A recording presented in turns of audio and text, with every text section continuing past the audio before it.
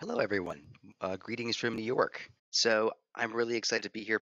And what I'm presenting today is called the Open Access Method. So uh, many of you may know that I was involved in the design and implementation of the Metropolitan Museum of Art's Open Access Initiative and also the Cleveland Museum of Art uh, in Cleveland, Ohio. So this is an opportunity for me to share the learnings that I provided from those experiences and also the work that I'm currently engaging other clients. So the first half of the presentation is going to speak very practically about what it takes to do an open access launch and the requirements of that process. And then I'll speak about the programming elements that can happen after launch. And so, where do we begin? So first of all, open access is about digital transformation. So the importance of that position is that your organization needs to take certain steps in order to be able to do an open access initiative. It needs to have a core set of technical requirements, staffing in place, policy work done as well. So, open access is also a baseline requirement for a cultural institution today. It's not a nice to have, it's not we'll get to it someday, it's not maybe we'll do it. It's a baseline requirement for any cultural organization, whether your focus is art, history, or science. A key point to know as well is that open access is a program and not a project. So many museum digitization projects have been left stalled or failed or discarded over time, especially in the digital space, whether those were experiential or collections research based. This is a fundamental change for an organization. Open access is something that once you've committed to doing it, you continue to do it for the future. So it's important when you're working through this change that you help your organization see that journey. It's mission critical there's nothing more important in terms of connecting your mission to your public than open access. It is, if you look at many of our mission statements at cultural organizations around the world, we talk about access and service and discovery. This is the most important thing you can connect your organization to do. And open access enables feature readiness. So the key too is engaging in sustainability, the sustainability of our relationship with cultural heritage uh, through digital technology. It's also an opportunity for revenue generation and engagement opportunities that weren't possible with the restrictions of, of the copyright procedures and our working processes. Now I want to talk about the, the makeup of a project team, uh, the project team that leads through the process transformation in open access. So first you start with your attorneys. Uh, if you have an in-house attorney, uh, they're going to be a key stakeholder in making, helping you make decisions and guiding you through the process. You might also have external counsel, so other legal experts in areas of expertise that you want to bring in that can support the work that you're doing your board. So in the case of both uh, the institutions that I've worked with in the United States and abroad, having the support of your board, whether that's governmental or a private board, is critically important. And your director and your executive leadership team and their, their support being on the project initiative is hugely important. And then in terms of actually guiding it through, you'll need a project manager and a project coordinator. So a project manager is the person who's responsible for the, the overall leadership of the project, driving that open access launch method, and making sure people stay focused and on task. And a project coordinator is someone, their role is more as to do administrative work, scheduling support, keeping communication open. So, two different roles, but important roles. And then you'll likely have collaborators across your areas of practice within an institution. So, your collections managers, your rights and reproductions managers, your technical developers, then you'll have leadership from each of those practical areas as well and then your partners. And it's important to think of your partners in very generous terms. So I think institutions sometimes struggle by thinking about themselves first and foremost, but in terms of their communication about open access. But when you're working with partners, they're part of your team. And so it's important to treat them as team members and collaborators. So now I'm going to go through the basic structure of open access launch and talk about the core process and product areas. It's things that you have to deal with as you're going on the journey. So the first is your rights and reproductions and your legal tools. Uh, I strongly favor the use of Creative Commons Zero public domain dedication for several reasons. One is it is the most uh, open of the CC tools, legal tools. It does not have a requirement of attribution, and it does also not require someone to share under the same terms. And this is important, I believe, from the perspective of liberty and also from the perspective of reuse. Uh, many people may not want to be constrained by the terms of share alike, and you also necessarily may not want attribution in all circumstances. we also have to think about the opportunity in the present and the future for artificial intelligence and machines uh, taking stacks of museum data and media assets and moving them without that process of human intervention. So it needs to be on the human, it needs to be on the human and the machine readable legal deed itself to guide that use. So for the greatest openness, I recommend Creative Commons Zero Public Domain dedication. And of course, this is also contingent upon the laws in your country uh, and what you can do there policies you'll need to address. So your website now, your museum collection likely has a whole page of policy statements. You'll have to reflect them in terms of responding to open access. You also may have to change your policies on site in the physical building of your museum or institution in response to this as well. For example, if you have a researcher policy that someone comes to your collection storage, you may have to update that, that policy that allows them to take pictures or not take pictures. In the case of the Cleveland Museum of Art, uh, when you if you go to the Cleveland Museum of Art in Ohio, you can take a picture of any public domain work of art and you are free to reuse that picture without asking for permission from the museum. So the public domain is also physically part of the environment that you can experience in a museum. You'll need to update your request process. So this means your form submissions, your policies around how you fulfill uh, order requests for images, and your terms of use. So the things, the policy statement that governs the use of your collections and your content. Another important area is cultural and community responsibility. So you may be working with a certain collection that has an important community of practice or a different identity or expression or heritage that matters to them and it matters to you as a museum steward. So it's important to think through about the implications of your collections and your data, your relationships with your constituents and stakeholders, and how to manage those effectively uh, for the best possible outcome for your constituents and for the public at large. And so you'll have to make changes in your policy. You want to identify a value statement that speaks to the intentionality of that relationship and the work you're going to do together. Then also making sure that moving beyond the value statement, you work into actually making fundamental changes to collections management systems and to your publishing processes and your programs. So if you are working with the community, making sure that you're actually instilling into your databases those changes, working with community relationships, and making sure that the data is visible as they would like to do so in partnership with you or not. Next piece is, um, again, systems and support. Very important, the backbone here. Making sure your collections management system has uh, unique identifiers, that it can publish to the web, that it can export data, that you have a asset management system that is connected to managing media and image assets, that your assets are of good quality and are in a ready state to be shared, that your metadata is, is clean and consistent as best it can be, and that uh, you're being as permissive as you can be with your metadata, especially um, in the example of provenance or the history of ownership of an object. This is an important area, but also descriptive text. So many museums have made tombstone or identifying information around their collections available, but not the things that actually give context to those collections, which is why the, the metadata is so important.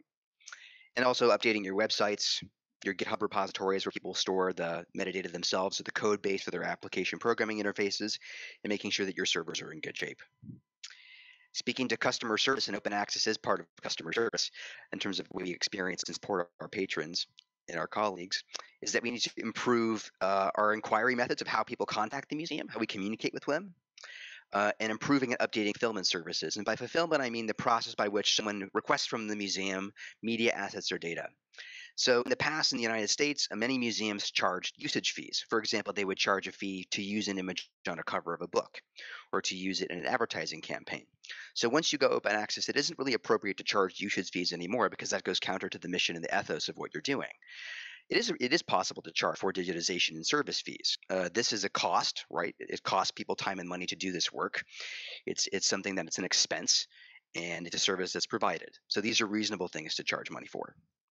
And then you also have the opportunity to refresh a licensing partner. So in the United States, but also in Europe, uh, many institutions partner with licensing agencies who act on their behalf to fulfill requests. You'll need to renegotiate those relationships and update your policies. Next is marketing and communications. So working with your communications and your marketing team to really help understand how important this initiative is and what it means. So one thing I often say, well, open access is the most important thing your organization will do, more than any building, event, exhibition, project, or publication. So while your museum may have an exhibition or a project it loves and goes back to and refers to in its institutional culture, you only go through the open access process on a fundamental level one time. And it's the most impactful thing your organization can do, at least in our time, in our moment. What happens after that, we have to see. But there's nothing that has come before that will ever mean or have as much impact as this. Also, to note that open access serves to support cosmopolitanism in a global community. So oftentimes I think we focus, we tend to focus on our regional or our local or our national initiatives, but it's important to remember that open access is about engaging a global community and sharing and participating with a global community like I'm doing with you all today, which is so wonderful and important to building our relationships across the sector and with our publics. And it's essential to sustainability and public engagement. So keep you need content. Your institution needs content to share and communicate and dialogue with audiences. If your content's restricted, you can't build a sustainable relationship and engagement with your public. And again, going back to that importance of mission. Next, just I'll run through very quickly here the digital content pieces that you need to, to examine when you're preparing for open access. Analytics and dashboards, incredibly important. So many times we get excited about going open access, we do all the technical work, but we don't actually have the reporting to demonstrate the impact and to measure that and to show that back to our boards, to show that back to our public. And sometimes museums can be afraid to share that impact publicly. And so I, I encourage museums to use public dashboards to show the impact of open access. Because one of the questions that we still deal with is well, is this valuable? Is this helpful to people? Does this make our institution better? So we need to put our analytics where our statements are and demonstrate that impact and value. And then also to understand that if you, for example, your organization has a application, uh, whether that's for the on-site visitor experience or a digital content experience, you need to bring open access to that space. You'll have statements and form for blog posts about the mission for your institution. You'll need to cover your frequently asked questions to help guide your users through the content. The in the news uh, section is very important as well. A lot of museums make this mistake too. They have an open access launch, they have a very exciting reaction in the press, and then they don't actually consolidate and present back to the public the information the impact of that of that press experience. And so as time goes on, it's harder for the, the museum staff and the public to find out what was the impact of this, what was the historical context. Working with your partners is again key. Uh, you'll have to have a big social media campaign, updating your websites, and it's also very helpful to have very good video pieces as well. So a video piece that can succinctly describe the ethos of your mission, why you're doing this, but also just go through this, those basic technical changes. Collaborations and partnerships, another key aspect as well. So, who can you work with to magnify your impact? Uh, you can work with artists, you can work with educators, you can work with donors and funders, you can work with content distribution platforms, and you can work with and should work with commercial partners. And then in the United States, we often think about the impacts of this for, as I mentioned before, new revenue and business generation. And one of the things that people say is, well, if I can't license images anymore, how do I make revenue? Well, as Kasia already mentioned, and there's been so many important papers and reports on this fact of the lost image licensing revenue by Simon Tanner, by uh, Ken Crews, uh, Diane Zorich has mentioned this work as well. Merete Sanderhoff has spoken about this a great deal. The shift in the value for working with a cultural institution is to optimize the brand trademark the relationship that you have with your institutional brand and the people that you want to partner with. So it's finding the right corporations, the right independent makers. So you might you might think about the Rijksmuseum example of the, the Etsy marketplace of maker communities, but also technology startups. And then the components of the launch. Um, the launch event itself. It's important to understand that a launch event with open access, the primary audience for that is the internet. So while it may be people that are physically in your space, which is an important component, as again going back to the fact that open access is a global community don't forget to turn on the internet when you have a launch event. Another key example too is you want to show the generosity of your partnerships and have people with you on site and at your launch that demonstrate the impact and the potential of your open access release. And then your press release and your press campaign are really important to do in a thoughtful and nuanced way so that you can inform uh, journalists and, and writers and bloggers across the sector on the importance of this initiative. And just my little bullet point at the bottom there is that launch is the beginning, not the end. So the launch is not the end of your open access campaign. It's just it's just that you might as well think about it as day one. And now I want to talk about what happens after you open access to your collections and how do you actually develop the sustainable program and moving it from a launch project to a program. And this actually means rethinking what museums do. It means changing the products and services that we make to adapt to this new environment. So a first way of, of making the, the experience better is to improve the quality of collections data and media, which mentioned. And so a key way of doing this is providing alt, alt tags, verbal descriptions for people that are blind and low vision, but also these things benefit all users um, supporting translation. So now that your collections data is open, if you have a country where there's multiple languages or you have audiences from your analytics that show that you have multiple language speakers, take the time to invest in translation either through crowdsourcing or through paid services so that your content has more value and more impact. Also, transcription. Uh, many museums have documents or have objects that act like documents, like rare books or archival archival materials. We need the data to make those assets useful to people, so they can be found by change, so they can be discovered and interpreted and parsed. And then one of the other elements too is user generated content, starting to, as Kasha mentioned too, bring that relationship back into the systems, the core systems. And so as I was speaking before about community relationships, that means you have to work with your attorneys and your, your policy workers on what it actually means to bring that data into a system and how you will steward it and then start writing the policy. And then again, another thing that museums aren't used to doing, soliciting user feedback.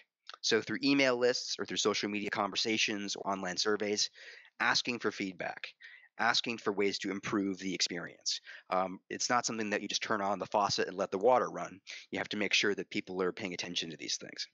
The ethos of the program development, so the sort of the energy, the spirit behind it, it needs to have an energy of entrepreneurship. You're going out and you're creating something new. You have to have a, a drive and an interest and a focus to take this to the next level entrepreneurship. This is something that means that within your own organization, you can take an entrepreneurial mindset and apply the tactics of innovation. Again, this is part of an international exchange. So it's not just about you, it's not just about your local community, it's part of the global community. And you have to be open to the idea of engaging in that the content and the collections you're producing now are part of a free market. They're part of a process of exchange. And you are now more aggressively competing for people's time and attention. So the content that you make yourself and with partnerships competes in that landscape. And what should your organization make now that you have this open data? What should you actually make and put out in the world? So, from a digital products and services standpoint, you can think about engaging artificial intelligence, uh, both for improving your own collection data, but also for connecting to larger services and products.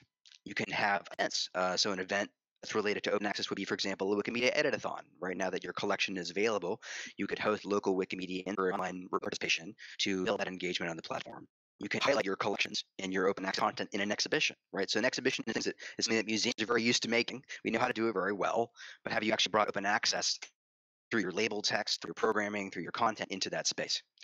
Your mixed reality experiences, your AR and VR. So putting those assets back out into the world or in your physical museum on site through mobile applications. Public programs too have discussions with people about open access, right? So it's not just about reading the policy on the website, but it's about convening people with your institution to actually discuss this. And it's not just for the the folks like us that are watching the webinar today who are talking about this in a policy context, but for the public, so they understand the importance and value of this and your streaming services and your in your podcasts and your video. So if you're producing content around open access, you could also choose to openly license the very content you're producing. So part of it's actually changing the way we make the content uh, as EM creators. And the same is true of using social media engagement and also video on demand. So many of you may be familiar with people's opportunity to watch exhibition encapsulations on streaming services or having seen them in a movie theater. So if your institution is making uh, videos about your exhibitions, can you open license that? Can you construct it in such a way that you can do that and share that online so its impact is extended? And then video games. Uh, video games and esports are among the most attracted uh, points of entertainment and engagement in the world today. There are millions of people that play video games. And so if you can engage users with your content by partnering with gaming companies, by sharing your assets, if you have 3D media assets like 3D models with gaming companies, you might actually see your a helmet from your armor collection in a video game and what could that do to draw attention to your collection and to your institution if you have the right partnership strategy also want to focus on learning uh, so in the United States, we talk a great deal about STEAM and STEM. So science, technology, engineering, and math. We also add A for art uh, to make sure that art stays in the picture as well. Uh, but many museums, whether they're an art museum or a history museum or a science museum, can actually overlap and cover both of those very well because there are aspects to scientific research and conservation of your collection, regardless of what it is, that can address both of those areas as well. There's still a growing development of a massive open online course structure. So if you're developing online courses, either for professional audiences or for learners, you can use your open access content there. One of the things I often would advise education departments around is curriculum alignment. So this is a shift for museums, I would say in the United States, but it could also be true in Europe and elsewhere. Museums historically and education departments have created their own content about exhibitions for their own purposes. But with, with funding structures, whether it's from private money or government, I believe it's increasingly important to make sure that the education content we create is aligned with curriculum standards in, in your region to make sure that you're aligned with teachers. So you're working with people that are in the school system and you're also focusing on student centered learning. So education shifts from being about the museum telling the public to the museum working with educators, the public, and curriculum creators. There's also a big opportunity with open educational resources to openly license these as well. So most museums that I'm aware of today don't actually openly license their lessons plans. They just put up a PDF on the website and don't have any licensing information. So teachers can't actually remix those and reuse them in helpful ways. So again, this is about working with teachers. Online learning platforms, there's many encyclopedias, of course, Wikipedia being one. Uh, there's data repositories, uh, and your data and your media assets, the way that they can be used and packaged by teachers is important. So when I first started working at the Metropolitan, we used to distribute slides, 35 millimeter slides uh, to teachers, but now you're going to be using data and media assets to do that. You can also support open textbook initiatives, which are hugely beneficial to students. So rather than a student having to buy an expensive textbook, which may be several hundred dollars in the United States, and then it's all about applications. Most of our exhibition catalogs, as far as I know, unless someone's using a printing press, made with digital tools. And they're made from Word documents, word processing documents. So you could make fully available open access version of your publication uh, as, as a scholarly monograph with open license. So looking at the area of museum publications even further, so most conservation research, uh, your exhibition catalogs, scientific research papers, symposium proceedings, and special publications taking that publishing arm within an institution, whether it's in partnership with a university press or an internal publisher, and bringing that to new opportunities with publication is very important.